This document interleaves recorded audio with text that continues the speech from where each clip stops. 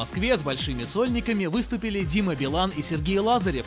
Оба участники Евровидения и успешные поп-артисты. Их постоянно сравнивают в прессе, хотя сами звезды конкуренцию отрицают. Однако свои сольные концерты в Москве дают с разницей лишь в сутки. Совпадение ли это?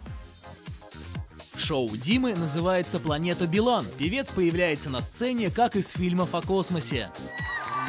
Блин, какое счастье слышать вас! Сергей Лазарев свой концерт начинает, тоже спускаясь с небес, только в немного другом образе и подобии.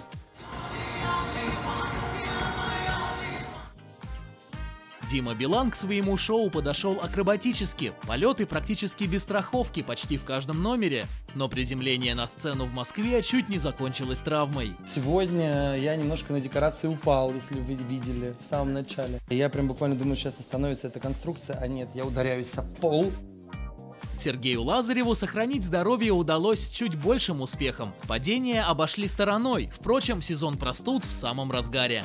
От всех от, отворачивался, не знаю, носил какие-то все, ел лук, чеснок, хотя я его никогда не ем, чтобы не дай бог никто меня не заразил. И поэтому, когда я пришел сегодня там с, с утра э, и понял, что все нормально, голосовые связки в полном порядке, и я прям думаю, все, отлично, слава богу. В полном порядке и концертные сборы у обоих артистов. Официальная вместимость планеты Билан более 7 тысяч человек, а вот на площадку Сергея Лазарева по официальным цифрам легко могло попасть около 12 тысяч человек.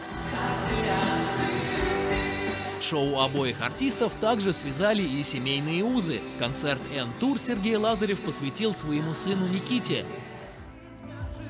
Дима Билан детьми пока не обзавелся, но его сольный концерт открывала родная сестра Аня, которая тоже стала певицей.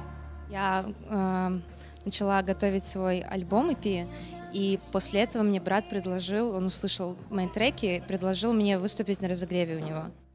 Неординарные и музыкальные новинки артистов. В своей песне «Бонни и Клайд» Сергей Лазарев спел о любви в путешествии на машине.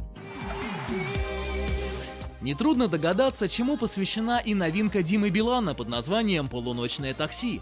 Мы летим в полуночное такси.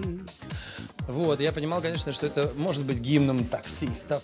Насколько вы э, схожи в своих творческих взглядах? Не знаю. И- Ну да, мне кажется, это вообще какой-то такой тренд. Э, Мы в тренде, это прекрасно.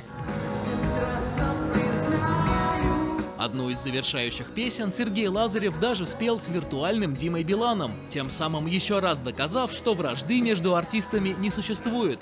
В конце концов, российский поп-олимп – это не Евровидение, и воевать за призовые места артистам не приходится. Так что поздравляем Диму Билана и Сергея Лазарева с успешными сольниками в Москве.